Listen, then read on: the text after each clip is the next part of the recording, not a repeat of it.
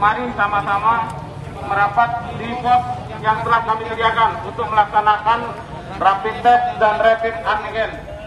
Ya mohon untuk anggota silakan diajak ibunya, bapak-bapak, adik-adik kita untuk melaksanakan uh, rapid test di posko.